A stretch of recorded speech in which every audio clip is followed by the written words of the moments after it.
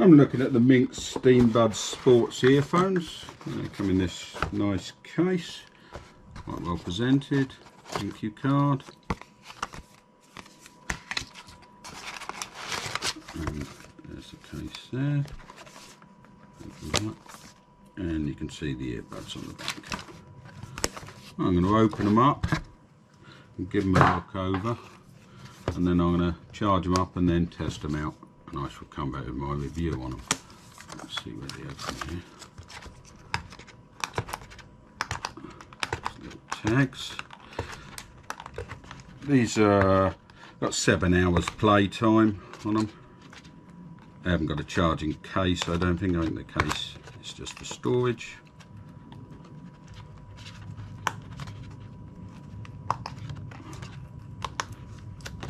And they're IPX5 rated, which means uh, they're protected against low pressure water jets from any direction.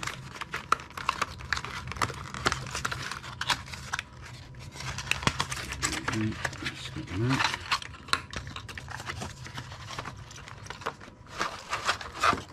already in the case. Still in the case. Move that way. The instructions. I shall have a good read through them. Just set them up. Seem fairly clear.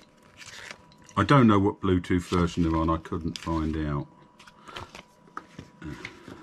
In here you've got uh, some spare earbud tips charging lead which is oh no that's ah that's the charging lead for the uh, buds.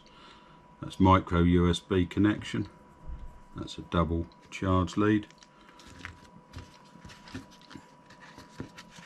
Buds out. As I say I shall charge them up and then give them a test out connect them up. And then try them out see how they work out. And I shall come back I'll now charge these up. Uh, they just connect up here.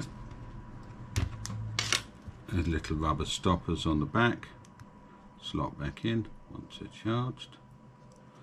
I had to read through the manual so I should be able to start them up.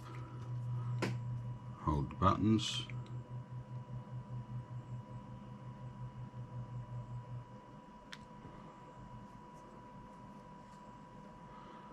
They should pair with each other.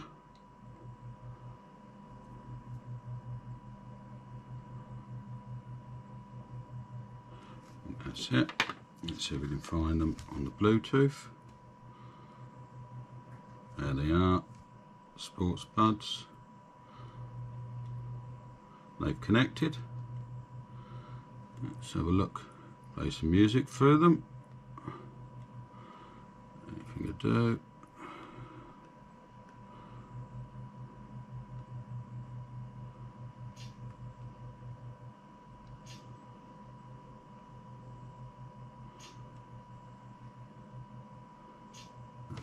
Let me just see if I can hear them.